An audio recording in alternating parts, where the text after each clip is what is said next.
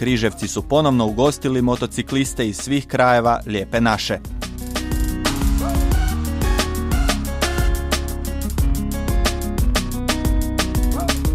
Ne, nije još došlo vrijeme za veliku nagradu Križevaca, uličnu motociklističku utrku o kojoj se sve zna i van granica Hrvatske.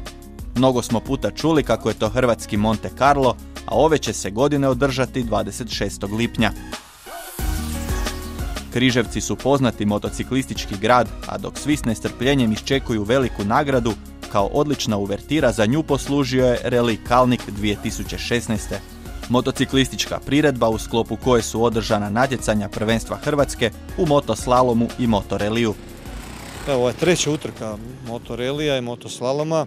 Bila je na Grobniku prva, druga je bila u Zagrebu i vjerujem da su ovdje u Krilicima vozači zadovoljni. Trudili smo se maksimalno kao organizator da e, zadovoljimo njihove sportske, sportske zahtjeve. Adrenalin, društvo, dobro vrijeme, dobra zabava, kaj, dobra cesta, puno dobrih vozača. Pa organizacija je super, vrijeme nas je poslužilo, nema kiše i sada mi je baš pasalo ono i tako da je sve super.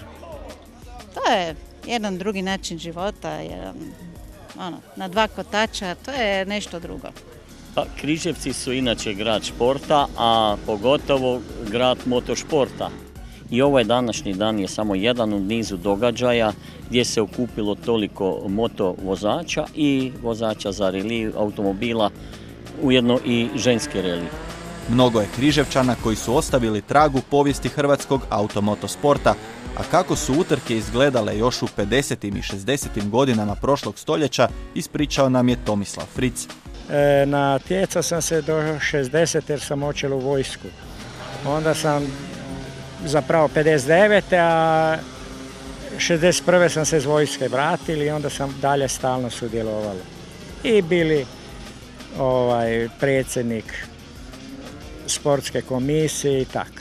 A dobro, sad su ovi motori puno brži, ne, i ovo startni, jer ono nisu bili startni. Imali Anlaser, ali i 150 kubika, ali nije bilo to start, ne.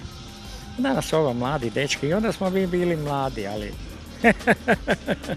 Motoslalom kao disciplina u posljednje vrijeme bilježi rast broja vozača.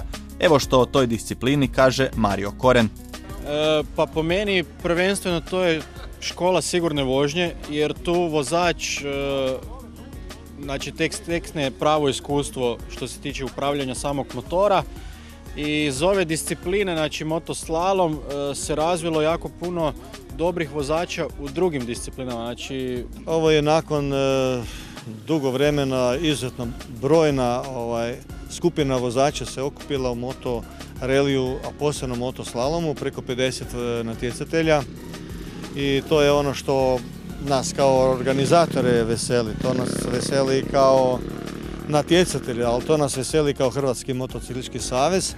Evo, fino je krenulo, ovo je sad već e, treći motoslalom i motoreli i ja se nadam da do, do iduće godine biti još bolje.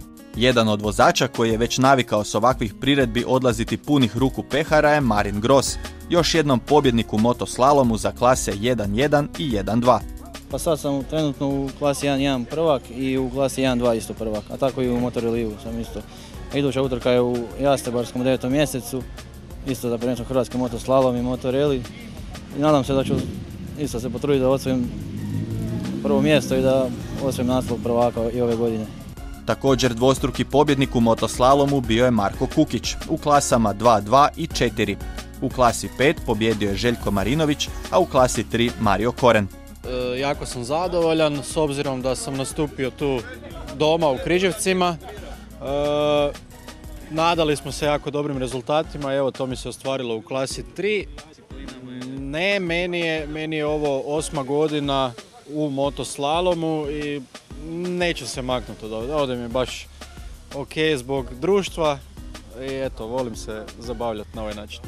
U poredku klubova slavio je prvi hrvatski motoklub Zagreb ispred Križevaca i Požega Prometa, dok je u poredku timova slavio prvi hrvatski motoklub Zagreb ispred Auto Korena. E, ovu godinu smo uključili u ovaj predivni sport i druge natjecatelje uključili smo Tinu Šatvara i Robina Šatvara. Ja sam ovu godinu sudjelujem isto u utrkama da bi pojačali sam motoklub Križevci i da bi osvajali i za motoklub Križevci isto pehare, medalje i sva priznanja koja se mogu dobiti u prvenstvu Hrvatske. Kad je prvenstvo Hrvatske u motoreliju u pitanju, bodovala se klasa 3 u kojoj je pobjedio Željko Marinović, a novitet na ovom natjecanju bila je vožnja sporosti. Pa vožnja, e, vožnja sporosti zapravo bila je za vozače motoreli jer se pokazalo da zapravo na relaciji oni teško skupljaju negativne bodove i oni samo prođu pa onda jednostavno je teško to ocijeniti. Pa ja mislim da smo pogodili sa sporom vožnjom gdje 10 metara su neki vozili preko 20 sekundi što nije jednostavno. Znači to govori o tehnici vožnje motocikala, a inače motoreli i motoslalom su tehničke discipline. Osim motociklista u akciji su bili i automobilisti. Odradili su ispit spretnosti u tri kategorije, vozača, vozačica i mladih vozača, a apsolutnu dominaciju iskazala je obitelj Keleković. Bruno, Slavica i Antonio odnijeli su kući sve pehare za prvo mjesto. Veseli nas i određen broj mladih vozača koji su se natjecali u svojoj skupini, znači do 24 godine starosti, gdje smo imali predstavnike srednje škole Ivan Seljanec i mlade dečke koji su jasno nastupili e, u natjecanju automobila. Meni je ovo druga pobjeda, prošlogodišnji sam pobjednik, sad sam ovu godinu uključili obitelj, Sinjana vršila 18 godina i evo prvi reli nakon godinu dana vozačkog iskustva, vozil je među mlađim vozačima. S obzirom da sam prvi put ove, uopćenito ove godine vozila, super, zadovoljna. Samo da je više tak i to je to. Nakon što su priveli kraju Reli Kalnik, Križevčani se okreću svojoj velikoj nagradi. Je, ovo je zapravo najava moto utrke 25. i 26. Ovo je trening za naše sportske suce koji su danas odradili vrlo kvalitetno. Križevce svi jedva čekaju, to je jedina još cestovna utrka koja ostala u gradu. E, druge su sve, već su se ulice promijenile, ali Križevci su ostali isti i svi jedva čekaju Križevce da, da dođu vamo. To je velika manifestacija. Sve institucije našeg grada mislim da će pripomoći i da ta međunarodna utrka Križevačka, znači nagrada Križevaca 2016. bude dobro organizirana, dobro posjećena, očekujemo velik broj vozača, znamo da nekoliko zadnjih godina bude preko stotin, stotinjak motocikala u disciplinama brzinci, oldtimeri i skuteri. Tako da evo ga, poslije ove, ovog moto relija, relija Kalnik, e, počinju pripreme za moto utrku. Zapravo one su već krenule, ali evo sad je intenzivnije. Velika nagrada Križevaca ove godine na rasporedu 26. lipnja. Nemojte propustiti hrvatski Monte Carlo.